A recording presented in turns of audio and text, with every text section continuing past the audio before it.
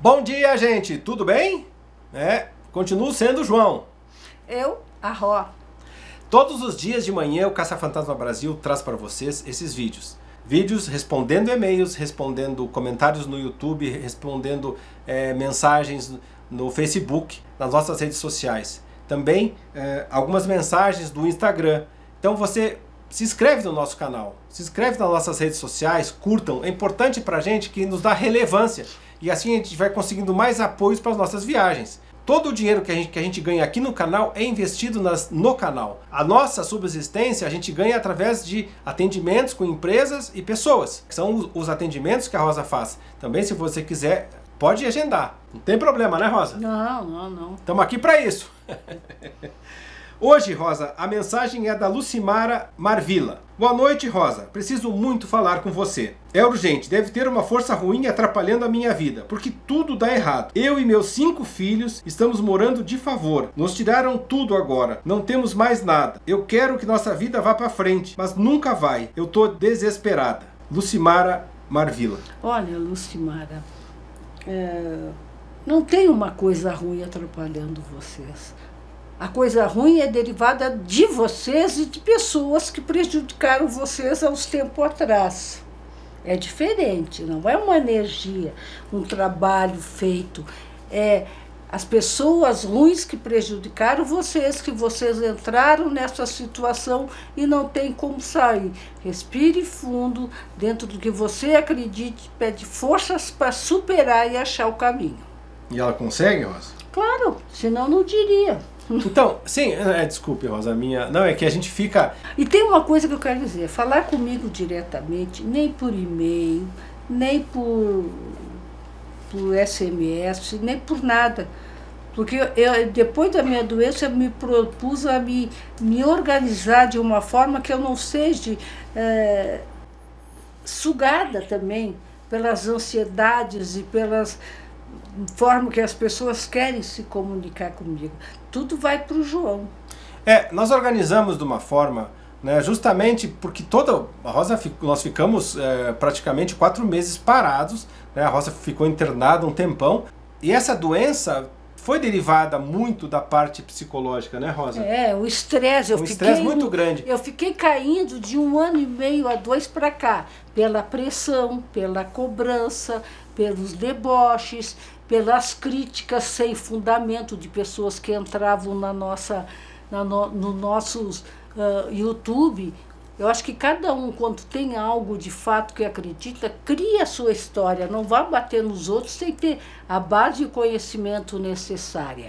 Então, isso de um ano e dois atrás foi me levando a me desgostar, a ver que eu, as pessoas me davam como obrigação. Não fui eu que criei o problema, mas eles vinham com facas no peito. Então, depois daquela doença que é, foi derivada do estresse, de querer abandonar o que eu sempre fiz e o que eu mais gosto de fazer, que é usar a evidência, a telepatia e a sensibilidade, aprendi a lição de como organizar.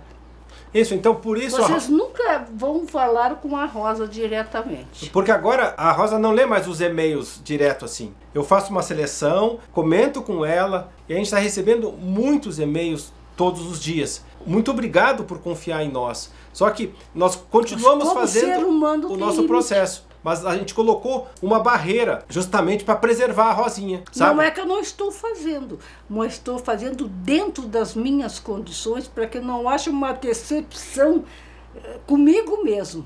A forma como se colocava é como se a Rosa tivesse obrigação. Não, a... tirando as críticas pejorativas, é. as conclusões de outras religiões no, na minha. O julgamento, né? Na minha história. Então, gente, ó, acabou tudo. Vamos ajudá-los, vamos fazê-los dentro do possível. É isso aí, Lucimara. É força. Tu entendeu, Lucimara? Torcemos para você, seja forte, né? Você tem cinco filhos, cinco motivos Para superação. para superar. Confie, reze dentro da, dentro da sua fé. Não é espiritual. É, é, vamos dizer espiritual porque são cargas negativas criadas por pessoas anteriores e, e ansiedade que se torna uma carga negativa. Ela não é propriamente uma carga negativa, é um momento pesado da angústia da pessoa. Sim, e a ansiedade acaba é, é, é, Cegando. cegando, né? Quer dizer, Tirando conclu... É muito mais fácil dizer que o problema que eu tive foi espiritual. sim. Eu tiraria... Não estamos criticando você, viu? Não, não, já, tô com, já, já voltei para o meu pessoal aqui.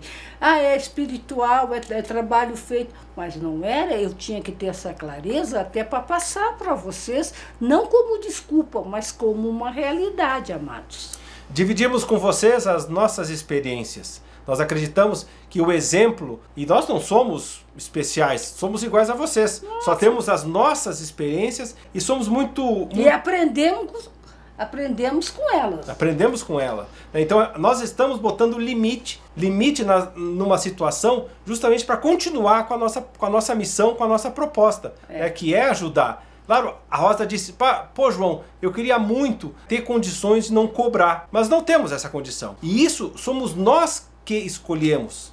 Nunca, nunca disseram para nós, o nosso guia, os nossos amigos, ninguém, nunca disseram para nós não cobrar. Agora que eles ensinam o respeito e o meio termo de cobrar para ter uma vida, para que possamos nos dedicar não para luxo, não para trocar o carro todo ano. Nossa, imagina. É o lim... Aí quando tu começa no luxo e muitas joias caras, muitas roupas caras, um- uma mansão, aí entra o racional. Aí que pode um paranormal entrar em conflito consigo mesmo.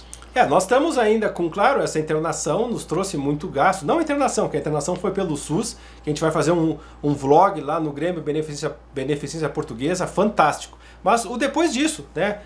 O, o depois do hospital, o tratamento todo é particular. Então tem um gasto muito grande e isso a gente não colocou no canal. No canal, todo o dinheiro que entra pro canal fica no canal para promover as viagens, para bancar as viagens e tudo isso que a gente está fazendo. Amigos, até o próximo.